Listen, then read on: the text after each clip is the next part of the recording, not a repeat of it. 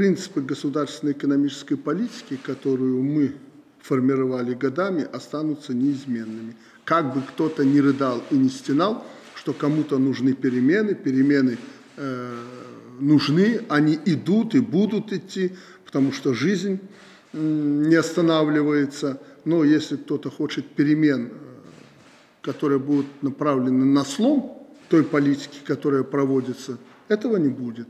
Вот будут выборы, будут альтернативные кандидаты, предложат слом старой системы и новые перемены, народ определится. Мы будем целенаправленно реализовывать те замыслы, которые есть, и перемены эти будут абсолютно спокойными, не революционными. В центре должны быть наши люди, их интересы, люди разные – Бывает, что люди требуют того, что делать государство не должно, но других людей у нас нет. Мы должны к этим людям прислушиваться.